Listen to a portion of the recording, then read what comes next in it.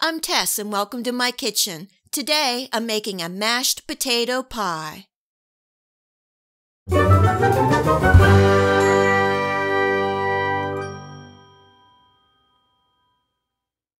This is a great recipe for leftover mashed potatoes. I found this recipe in one of my older cookbooks and it sounded really good, so I thought I would give it a try. I made a couple adjustments, it turned out great, and I wanted to share it with you all. I'm starting by adding a half a stick of butter to my saucepan along with one cup of finely diced onions, and I'm using a sweet onion. I have my heat on medium low and I'm just going to let them saute for about five minutes, and then I'm adding two finely minced cloves of garlic.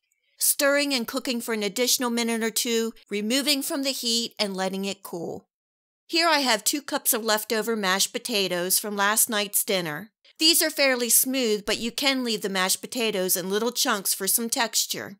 I'm adding my cool butter and onions and some black pepper. I'm not adding any salt because my potatoes were already seasoned, plus I will be adding some cheese.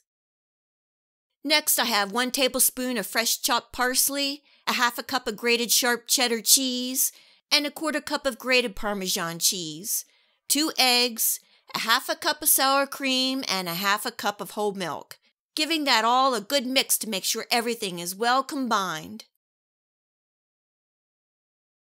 I have my oven preheating to 350 degrees. All that mashed potato goodness is going right into an unbaked pie crust, topping with the remainder of the cheddar and Parmesan cheese.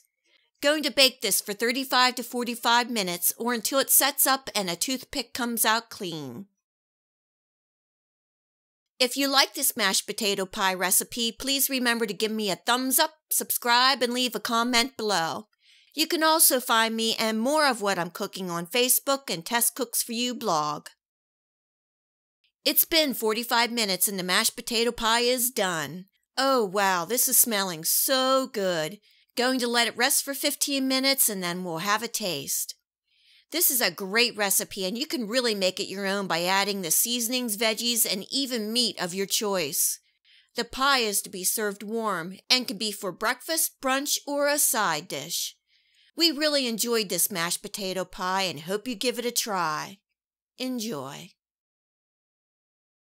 And thanks so much for joining me here in my kitchen. You can subscribe here for my future video recipes. And remember to come visit me on Facebook.